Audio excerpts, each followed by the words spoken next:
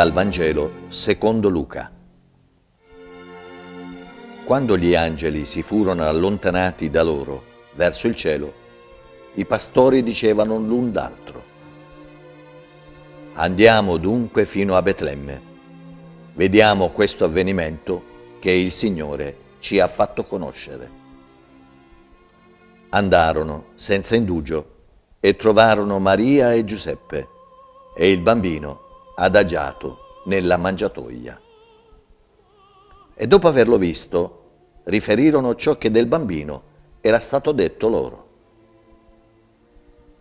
Tutti quelli che udivano si stupirono delle cose dette loro dai pastori. Maria, da parte sua, custodiva tutte queste cose meditandole nel suo cuore.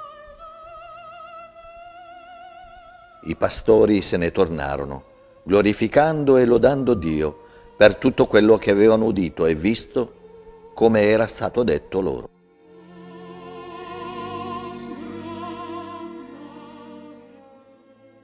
Amici, buon Natale. Alcuni anni fa, padre Nazareno Fabretti, francescano, viveva nel convento dell'Annunziata a Genova e faceva catechismo ad un gruppo di ragazzi della parrocchia.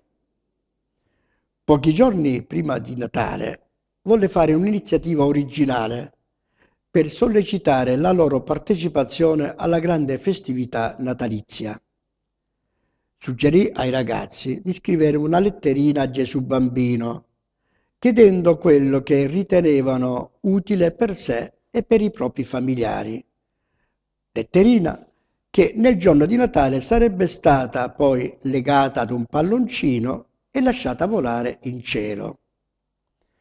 Arrivò il giorno di Natale e nella piazza antistante la chiesa furono lasciati volare in cielo tutti i palloncini con le letterine ad essi legate.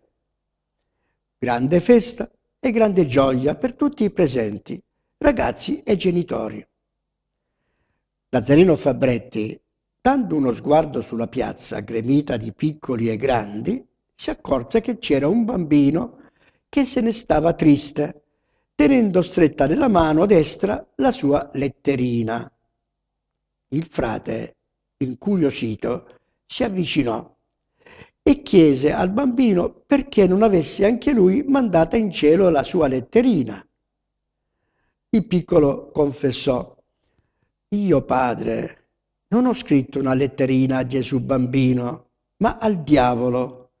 E non so se il diavolo sta di sopra o di sotto. Lazzarino Fabretti sorrise, poi prese la letterina, l'aprì e lesse. Caro diavolo, oggi tutti si ricordano di Gesù bambino perché lui è buono. È bello e dolce ricordarsi oggi di chi è buono, ma io voglio ricordarmi di te che sei cattivo e a te nessuno scrive. Caro diavolo, torna ad essere buono e noi ti riattaccheremo le ali. Graziosissima questa letterina, ma ancora più grazioso, secondo me, il bambino che l'ha scritta, perché dà a tutti noi oggi una meravigliosa indicazione per celebrare il Natale da veri credenti. Immagino che qualche ragazzo della nostra città avrebbe anche lui voglia di mandare una letterina al suo papà o alla sua mamma che neppure a Natale vengono a messa o non sono in grazia di Dio o non sono in pace con se stessi e con gli altri. Noi ci chiediamo come vivere da credenti questa festa di Natale? In contemplazione. Modo migliore per vivere questa festività natalizia. E per facilitare la contemplazione del mistero di Dio che si fa bambino, accostiamoci al presepe. Presepe vuol dire dentro la siepe, dentro il recinto. Comprenderemo meglio la grande pedagogia del presepe, che spesso sfugge all'occhio distratto di chi si avvicina solo per curiosare. Il presepe ci indica un prezioso stile di vita, ci indica la pedagogia del silenzio. Tutto tace dinanzi al presepe. La mezzanotte avvolge ogni cosa. Allora Gesù può nascere.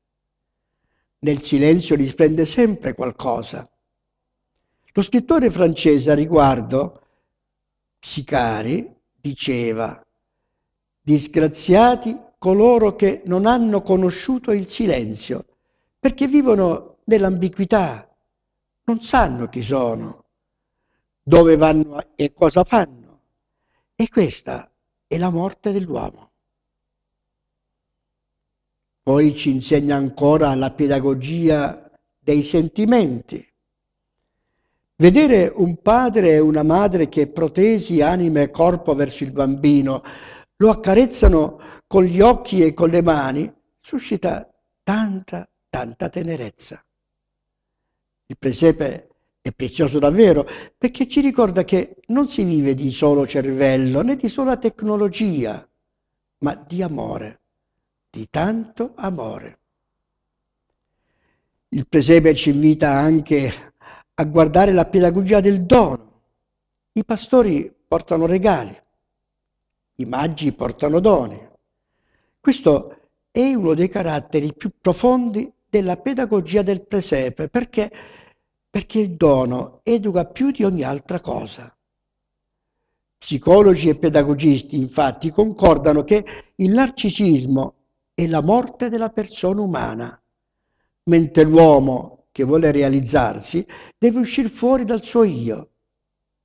C'è più gioia nel dare che nel ricevere.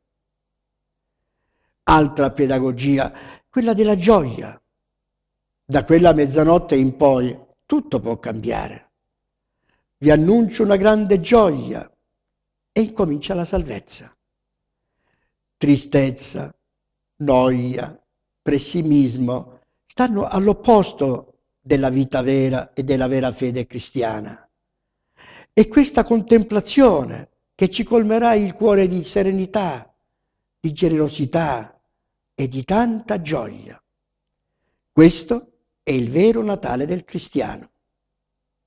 Amico, che Dio possa incontrarti a Natale per spezzare insieme a te il dono dell'amicizia.